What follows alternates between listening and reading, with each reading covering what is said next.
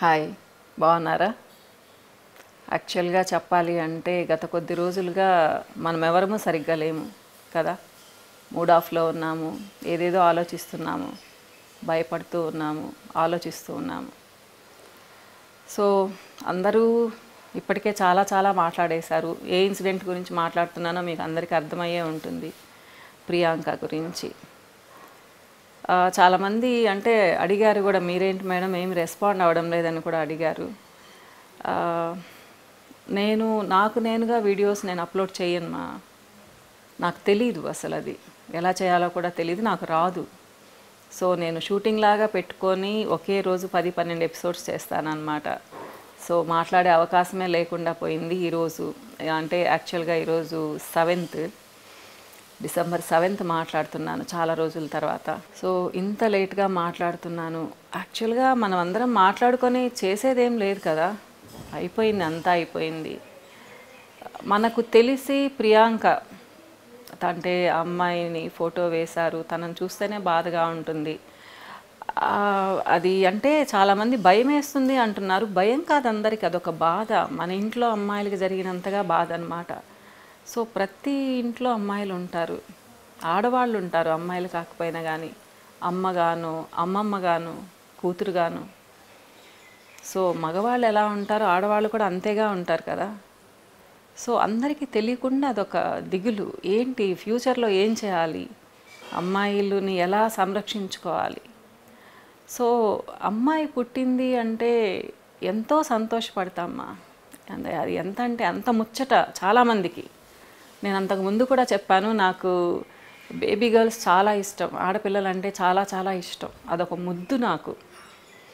మన ఇంటికి లక్ష్మీదేవి వచ్చినట్టుగా ఫీల్ అవుతారు చాలామంది. నేను కూడా అలానే ఫీల్ అయ్యాను.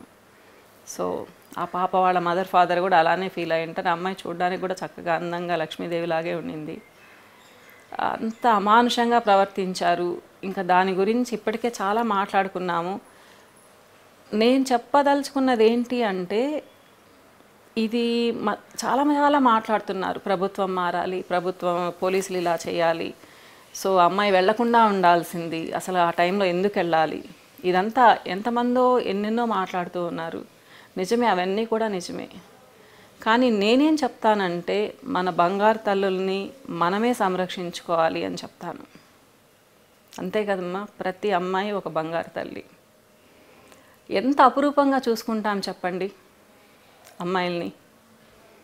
అసలు నిజంగానే చెప్పాలి అంటే ఏదో అరచేతిలో పెట్టుకొని కాపాడుకుంటాం ప్రతి ఇంట్లో మన పిల్లల్ని.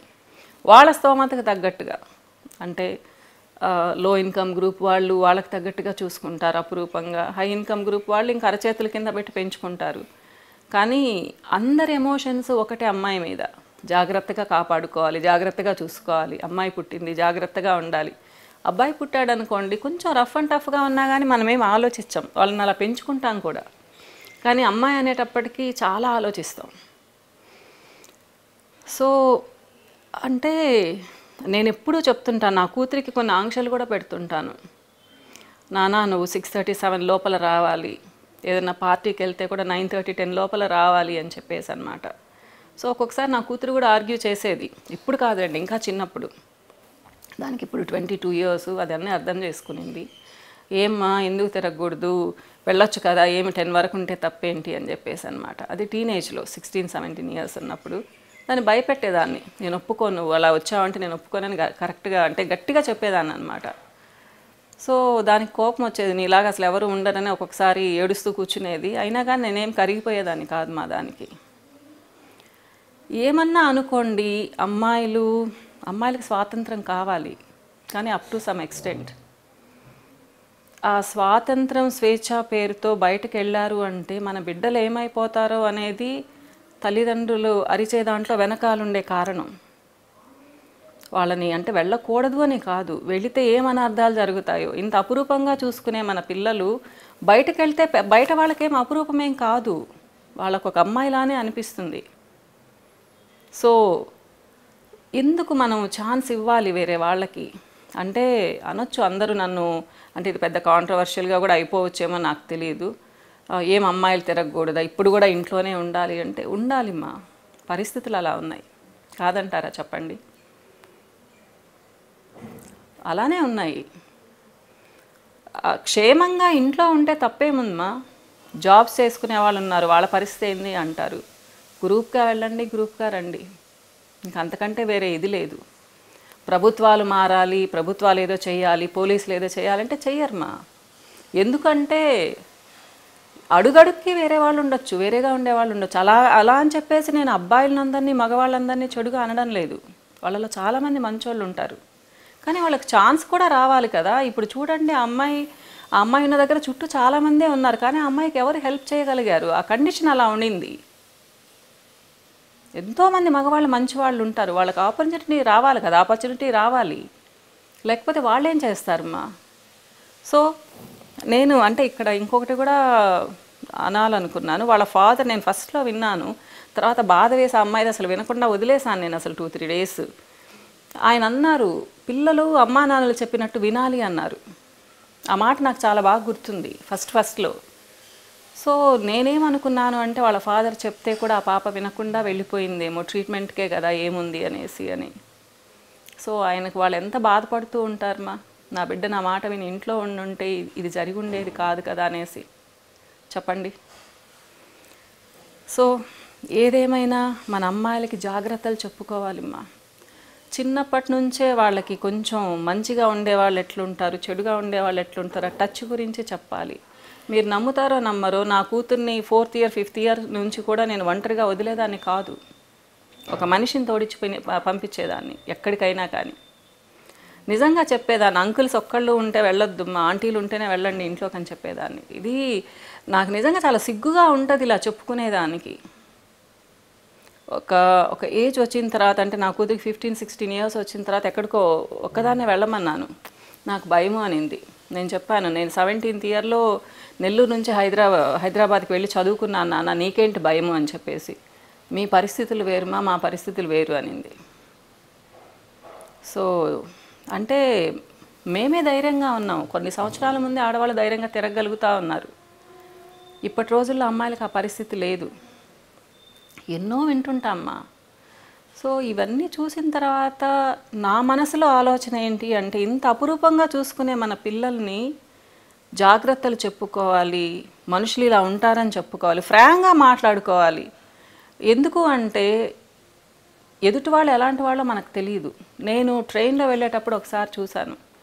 Sixth seven six seven years ఉన్న అమ్మాయిని ఒక ఆయన అదే పనిగా బుగ్గలు పట్టుకొని ఇలా ఇలా అంటూ ఉన్నాడు. బట్ నేను అరిచాను. ఏంటి ఆ పని అని చెప్పేసి అమ్మాయిని తీసుకొచ్చి నా పక్కన కూర్చోబెట్టుకున్నాను. సో కొంతమందికి ఏంటి అంటే ఆ విచక్షణ జ్ఞానం ఉండదు మనుషులుగా పుట్టిన మృగాలు ఉంటారు కొంతమంది. సో అంత చిన్న బిడ్డలకు అసలు ఆ ఆలోచన కూడా ఉండదన్నమాట. సో నేను అంటే వేరే వాళ్ళని తప్పు పట్టడం కంటే కూడా మన జాగ్రత్తలో మనం ఉండడం చాలా మంచిది మా సో అవసరమైతే తప్పితే బయటకు వెళ్ళకుండా ఉండాలి. నిజంగా చెప్తాను రాత్రిల పూట. మా ఇంట్లో సర్వెంట్ మైడ్స్ని కూడా నేను ఎయిట్ దాటిన తర్వాత పంపించాను మా బయటికి. వెళ్తే కూడా భయంకరంగా అరుస్తాను. ముందే తెచ్చుకోండి అని అని చెప్పేసి అనమాట ఇది చాదస్తం అనుకోండి ఏమన్నా అనుకోండి. ఎప్పుడైనా ఇంతే ఉంటుంది మా పెద్దగా మార్పేమీ ఉండదు. తెలిసి తెలిసి మనం ప్రమాదంలోకి ఎందుకు వెళ్ళాలి? అనొచ్చు మనకు ఇలా ఉంది అలా ఉంది మనకి ఇలాంటి ఫెసిలిటీస్ ప్రొవైడ్ చేయాలి. గవర్నమెంట్ ఇలా చేయాలి అంటే చేయలేకపోతుంది కదా గవర్నమెంట్. ఏ గవర్నమెంట్ చేయలేదు మా. ఒకళ్ళు కాదు ఇద్దరు కాదు కోట్ల మంది ఉన్నాము. ఎంత పోలీస్ ఫోర్స్ ఉంటుంది గవర్నమెంట్ ఏం చేస్తుంది? సో మన బాధ్యత మనమే చూసుకోవాలి. మనల్ని మనమే సంరక్షించుకోవాలి. మన ఆడపిల్లల్ని మనమే సంరక్షించుకోవాలి. మన బంగారు తల్లుల్ని మనం ఉన్నంత వరకు బంగారు తల్లుల్లాగే చూసుకోవాలి. వాళ్ళకి చాలా జాగ్రత్తలు నేర్పించాలి. ఇది నేను చెప్పదలుచుకున్నాను. ఈరోజు ప్రియాంక గురించి వింటున్నాము. తెలియని వాళ్ళు ఎంతమంది ఉన్నారు? రేపు ఫ్యూచర్లో ఎలా ఉంటుందో? సో ప్రతి ఇంట్లో అమ్మాయిలకు కానివ్వండి అబ్బాయిలకు కూడా ఇప్పటివరకు అమ్మాయిల గురించే చేయను. అబ్బాయిలకు కూడా మనం చెప్పుకోవాల్సిన అవసరం ఉందమ్మా. అమ్మాయిలని ఇలా ప్రొటెక్ట్ చేసుకోవాలి అమ్మాయిలు సున్నితంగా ఉంటారు ఇలా చూసుకోవాలి అని మన అబ్బాయిలకి మన పిల్లలకి మనమే చెప్పుకోవాలి. వాళ్ళని జాగ్రత్తగా కాపాడుకోవాలని మనం నేర్పించాలి. జగద్గురు ఆదిశంకరాచార్య దగ్గర నుంచి ఎవరిని చూసుకున్నా గాంధీజీ గారు కానివ్వండి వివేకానంద స్వామి కానివ్వండి ఎవరైనా కానీ స్త్రీలను గౌరవించండి. అని ఎంతోమంది చెప్పారు. ఎక్కడైతే స్త్రీలు పూజింపబడతారో అక్కడ చాలా బాగుంటుందని కూడా చెప్పారు. నాకు ఆ వర్డ్స్ కూడా రావడం లేదు ఇప్పుడు. సో ఏంటంటే ఎవరో ఏదో చేస్తారని కాకుండా మన జాగ్రత్తలో మనం ఉండాలిమ్మా. మన ఇంట్లో అబ్బాయిలకి సంస్కారం నేర్పించాలి. అమ్మతో ఎలా ఉండాలి? చెల్లెల్ని ఎలా చూసుకోవాలి? రేపు వచ్చే భార్యని ఎలా చూసుకోవాలని ఎక్స్ప్లెయిన్ చేయాలి.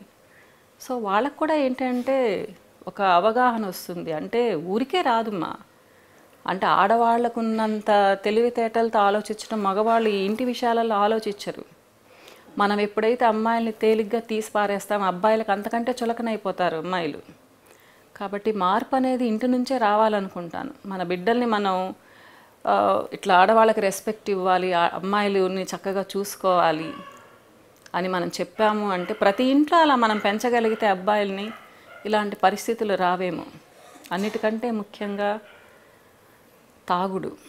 ఎవరైతే డ్రింక్ చేస్తారో నిజంగా వాళ్ళకి చాలా దూరంగా ఉండాలి మా ఓవర్గా డ్రింక్ చేసే వాళ్ళకి మాత్రం దగ్గరగా ఉండకూడదు. ఎంతో మందిని విన్నాను. కన్న తండ్రి కూడా చెయ్యి కన్న కూతురు చేయి పట్టుకున్న వాళ్ళని విన్నాను నేను. సో ఇలా ఎన్నో ఇన్సిడెంట్స్. ఏదేమైనా కానీ మన బిడ్డలకి ఎంతో జాగ్రత్తగా ఉండాలని మనమే నేర్పించుకోవాలి. మనమే కాపాడుకోవాలి. మనమే వాళ్ళని అన్ని విధాలుగా తెలివిగా ఉండేటట్టుగా చూసుకోవాలి. సో ఇది నేను చెప్పదలుచుకున్నాను. నిజంగా ప్రియాంక మరణానికి అసలు బాధపడిన వాళ్ళు ఉండరేమమ్మా. స్పెషల్గా చెప్పుకోవాల్సిన అవసరం లేదు. నేను చాలా బాధపడ్డాను అని ప్రతి ఇంట్లో అమ్మాయిగా పుట్టిన ఆడవాళ్ళుగా పుట్టిన ప్రతి ఒక్కళ్ళు ఏడ్చి కూడా ఉంటారు చాలామంది. కాబట్టి ఇలాంటి ఇన్సిడెంట్స్ ఇంకా జరగకూడదు అని కోరుకుంటున్నాను. సో మనం అందరము మన బిడ్డల్ని చక్కగా పెంచుకుందాం సంస్కారవంతంగా తీర్చిదిద్దుకుందాము. నమస్తే.